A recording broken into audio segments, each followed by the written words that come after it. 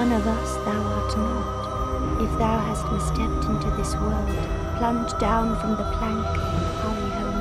If thou seekest I, thine desires shall be requited not. Thou must returneth whence thou came. This land is peaceful, its inhabitants kind, but thou dost not belong. I beg of thee, plunge down from the plank and hurry home. Thou must. I